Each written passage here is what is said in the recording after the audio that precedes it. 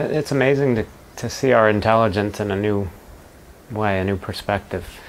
If we consider how we've been living our lives using our mind, using our intelligence, um, we focus in on all the descriptions within our intelligence. We focus in on the, the thoughts, the emotions, the sensations, and we're trying to build information and knowledge out of these thoughts, emotions, sensations, what we call data.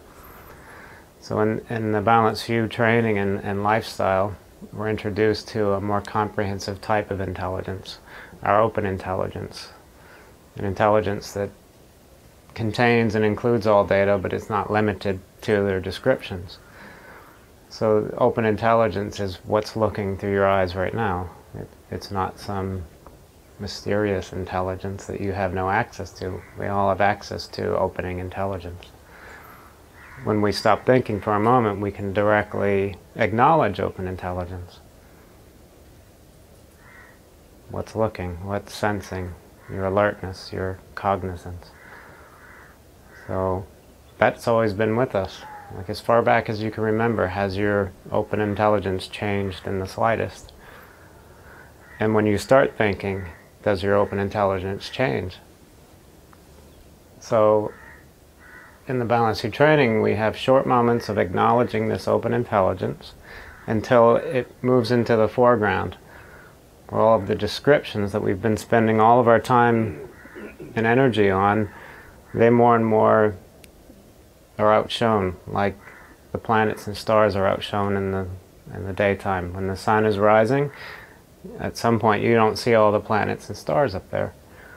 The description, all those data points shining, some brighter than others, at some point you don't see them. And all that's left is vast blue sky. So in the practice of short moments many times, it's kind of like that, where all of these descriptions of where we've placed all of our attention become less and less noticed, and the result is a life of complete ease and empowerment. Um, we make better decisions, we have more clarity, life is easier, um, relationships become easier. And that's simply due to the fact that we're not giving all this attention to the positive, negative, and neutral, and we align with our natural way of being together. Like, just consider when you were really young, before you had had education and data naming. Before that, it was really effortless. There was really no concepts going on. You were just free to be as you were. And then we went to school and we learned all kinds of things. So, this practice of short moments of open intelligence is very simple, but it's extremely profound. Um, it's something that we need to test in our direct experience. So when I came to the training, some things that were helpful for me was, like I was trying to figure out, well, what is a short moment of open intelligence? I'm not quite sure. Am I just stopping thinking, or what am I supposed to do? Um, so some things that helped me were rest naturally for short moments many times rest without seeking anything for short moments many times, or allow all descriptions that are arising just to be as they are for a short moment. And then the compulsion to get back in there and describe immediately kicks in, and then we remind ourselves, okay, let me let me test this out again. A short moment of not describing. You might be feeling bored, you might be feeling interested, or maybe you're just kind of like, I have no idea what's going on, or maybe you're thinking about what happened last night or thinking about what you're going to do next week. And then again, just remind ourselves, okay, let that flow of data, the data are they're just arising and they're self-releasing. So we remind ourselves short moments of resting naturally without getting in there and trying to rearrange everything, like clamp down on it, figure it out, get that decision we need right away.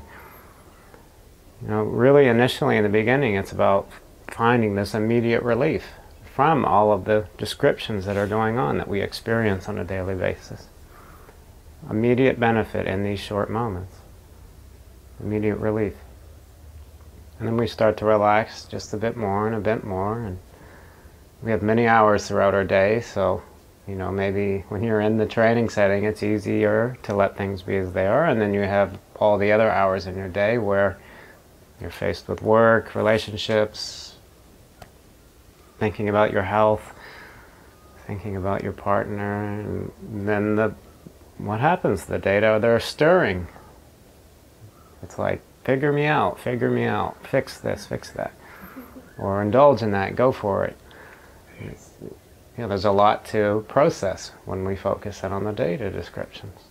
There's a lot to process in the thoughts, and trying to process the emotions, trying to figure out what this sensation means or that one means. And that's fine if we're interested in all that, but you know, is there immediate benefit in trying to figure all this out and getting distracted by the descriptions? So, you know, what do we want for ourselves? Well, I, I personally would rather be at ease and comfortable and still be able to make beneficial decisions. Like, I don't want to just be a passive emptiness. I want to be lively and of benefit to myself and others with everything that is coming up.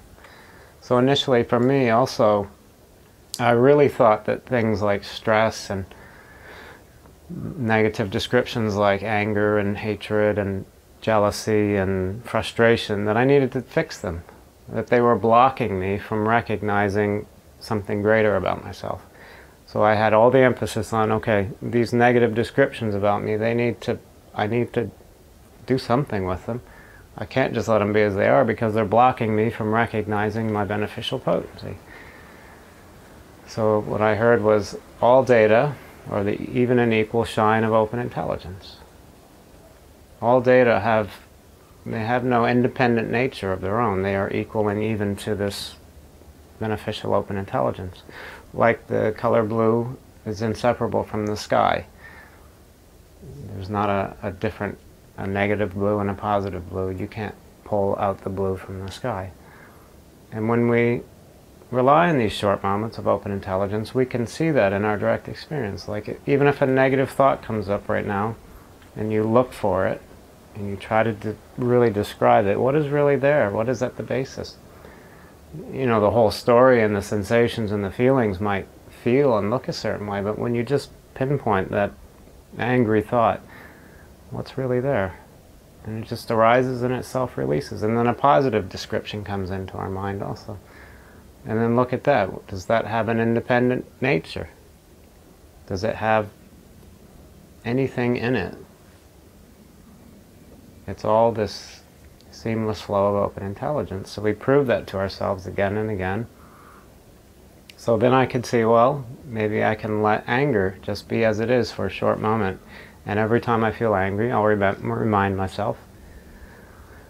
I can see the downsides of not letting it be as it is. I indulge anger, and we know what happens when we indulge anger. It usually just proliferates more anger. It, it may give us a temporary sense of relief. You know, maybe we feel justified, and that person knows never to do that thing again, and we got it right. And then what happens the next day? They do the same thing. They didn't. They didn't do the dishes, or they left the stuff in the sink drain, or they you know, their hair was in the sink, or and you get angry again, and you're like, you know, what did we speak about yesterday? Didn't you understand that this makes me angry? You're supposed to stop doing that, you need to. So that's just an example of indulging in the anger, and then you take it to an extreme level, and then you see what happens when you turn on the news channels. Indulging in descriptions of anger and hatred leads to more anger and hatred. So we've proved to ourselves, that, okay, it doesn't work to indulge in anger. And then we could avoid it completely.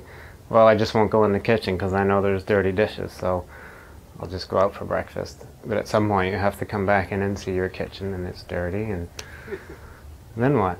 You can only avoid for so long. Avoid a person and place sort of thing.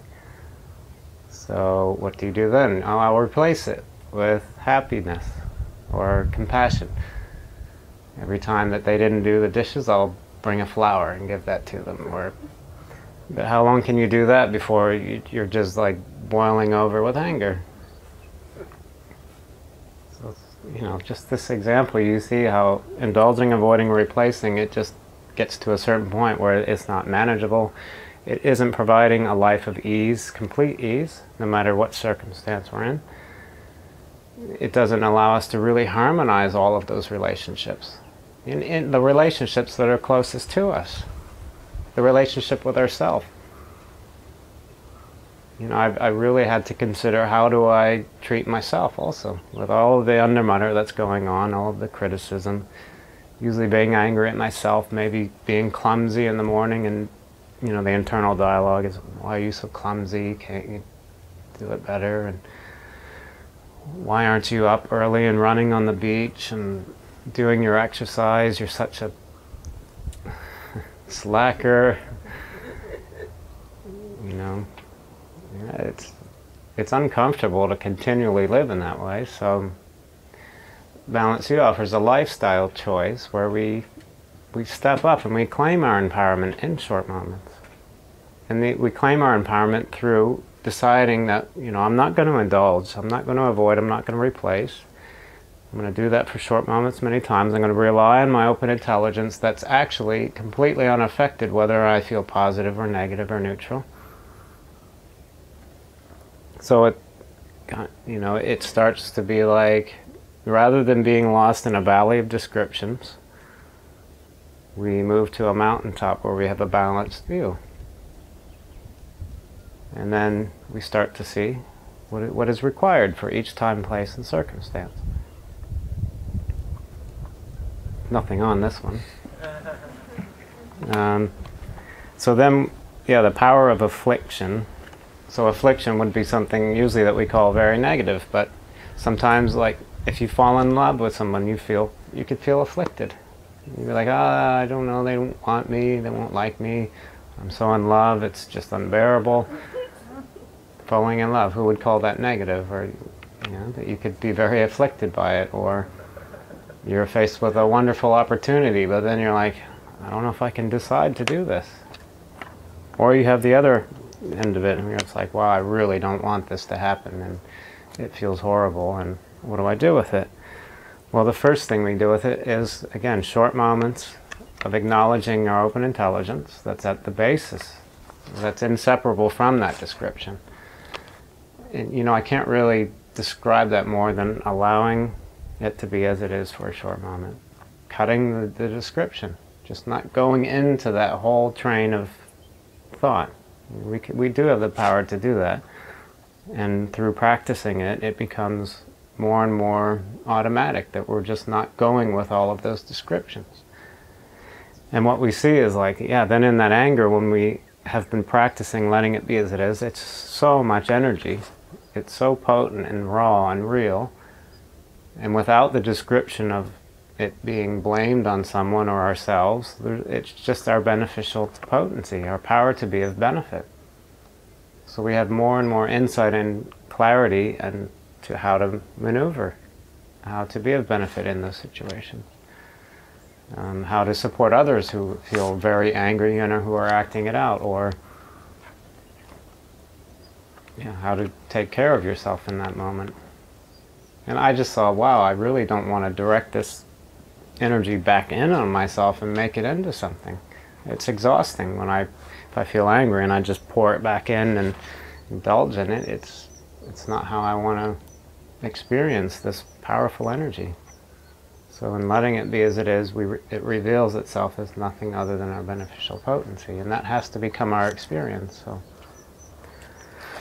the power of the trainings, relying on a trainer and a community, it just demonstrates more and more what that's actually like on a day-to-day basis, where it's not just thinking about how can I transmute something so afflictive into something so positive and beneficial. It comes about naturally and gradually. And um,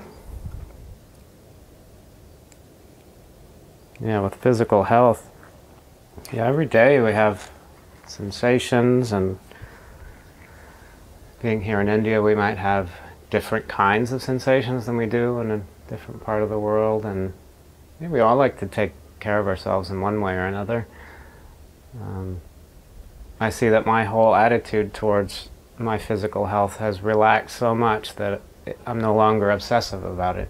I used to be very obsessed about everything I ate all the movements that I needed to do, all of the cardio and and it was just a lot of distraction, putting a lot of energy and attention and usually directing it back in a negative way, like I'm not measuring up.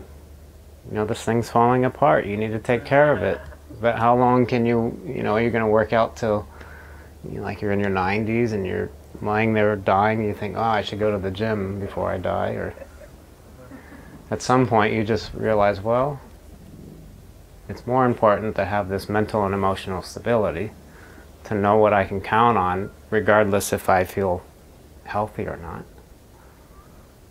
And just again, practically, it's like opening up the, the skillful means and, and the discernment and to how to, what is actually needed. Or what I also see is if I don't exercise and I feel a bit like a slob, I can still empower myself in short moments many times and not go down that road of labeling myself as something, somebody who's not measuring up. I always plan to do a lot of exercise when I come here to India. I hear of people, they get up every morning, they're running, they're swimming, they're doing their yoga. And I'm like, yeah, this year I'm going to do it. I'm not going to be a slacker. I've been to the beach running twice out of four months. I've gone for about five swims. And I can't really swim either. I just kind of I like to body surf anyway. That's a bit of a cardio workout, not much. And I started out doing some exercise, some weight training. I did that about four times. And I don't know what happened. Oh well. There's still tomorrow. There's still next month. Um, next year. Maybe I'll plan for next year. I'll put it on my calendar already. January 1st hit the beach, run all the way to Ashwem and back. yeah, it's just so much easier now. If I go or I don't, I would like to, but I'm just really busy with so many things, and um, yeah, you'll you'll know more and more how to how to do it, where it won't be so obsessive. You know, none of us are looking at each other, wishing, "Oh, I wish he had bigger muscles. I wish she was slimmer." These kind of judgments also fall away within the community setting. Like we just see everyone is naturally radiant and powerful, whether they're a fitness buff or not. It's like, it's kind of irrelevant. And if we need to work out, then we might. Maybe we need to take a break from it, then we might. The balance view, having that balance view, and it's very powerful.